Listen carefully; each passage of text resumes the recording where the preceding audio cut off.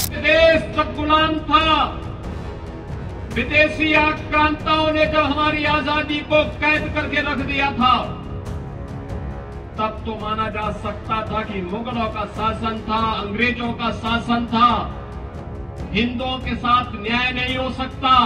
1947 में देश की आज़ादी के बाद अयोध्या में राम मंदिर का निर्माण तत्काल होना चाहिए था। कांग्रेस की सरकार चाहती तो निर्णय लेती, अयोध्या में रामलला का भव्य मंदिर का निर्माण करती। लेकिन कांग्रेस ने विवाद खड़ा करवा करके बैरियर खड़ा करवाए गए। नहीं होने दिया, राम मंदिर के विवाद का समाधान नहीं होने दिया गया। 2014 में मोदी जी प्रधानमंत्री बने। 2017 में उत्तर प्रदेश में मोदी जी के आशीर्वाद और उनके आह्वान पर भारतीय जनता पार्टी की सरकार बनी 17 में और 19 में अयोध्या में राम मंदिर का विवाद सदैव के लिए समाप्त हो गया। बहनों और भाइयों,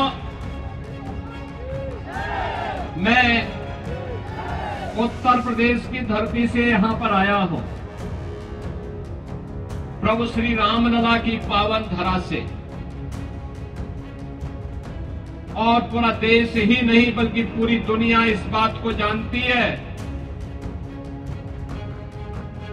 कि अयोध्या में पाँच सदी के बाद, यानी 500 वर्षों के बाद, रामलला फिर से अपनी पावन जन्मभूमि पर देव विग्रह के रूप में विराजमान हुए हैं। 22 जनवरी 2024 को प्रधानमंत्री मोदी जी ने अपने कर कमलों से पाँच सदी का इंतज़ार समाप्त किया और अयोध्या में रामलला फिर से विराजमान हुए। ऐसा नहीं कि प्रयास पहले न किया गया हो। अयोध्या में रामलला का भव्य मंदिर बने। रामलला फिर से विराजमान हो। इसके लिए छिहत्तर बड़ी लड़ाई हिंदुओं ने लड़ी। लाखों हिंदू बलिदान हुआ। इन बलिदानियों में क्या संत रहे हो? क्या निहंग रहे हो? क्या बैरागी रहे हो, क्या सन्यासी रहे हो? क्या सदग्रस्त रहे हो?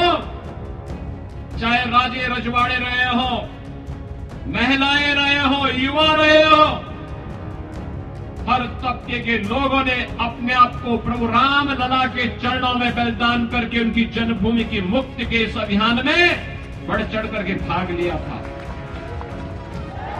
बहनों और भाइयों यह चाहिए था कि देश सब गुलाम था। विदेशी आक्रांताओं ने जब हमारी आज़ादी को कैद करके रख दिया था, तब तो माना जा सकता था कि मुगलों का शासन था, अंग्रेज़ों का शासन था। हिंदुओं के साथ न्याय नहीं हो सकता। लेकिन 1947 में देश की आज़ादी के बाद अयोध्या में राम मंदिर का निर्माण तत्काल होना चाहिए था। विवाद भी नहीं था। कांग्रेस की सरकार चाहती तो निर्णय लेती। अयोध्या में रामलला का भव्य मंदिर का निर्माण करती। लेकिन विवाद नहीं था। लेकिन कांग्रेस ने विवाद खड़ा करवा करके बैरियर खड़ा करवाए गए। नहीं होने दिया। राम मंदिर के विवाद का समाधान नहीं होने दिया गया। और याद करिए, कांग्रेस जिस समस्या का समाधान पैंसठ वर्षों में नहीं कर पाई 2014 में मोदी जी प्रधानमंत्री बने।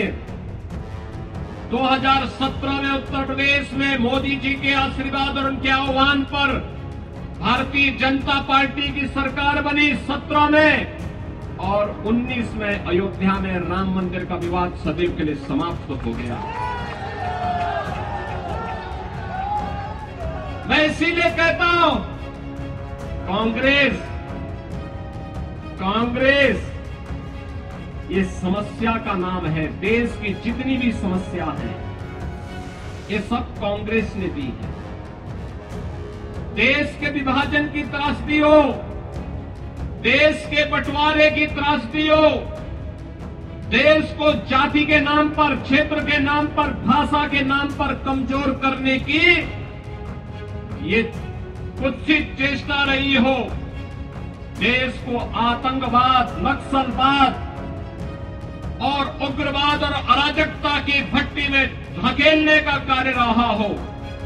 देश में भ्रष्टाचार, परिवारवाद और भाई भतीजेवाद की दुष्प्रवृत्ति को फैलाने का रहा हो। ये सभी कांग्रेस की देन है। कांग्रेस देश की समस्या का नाम है।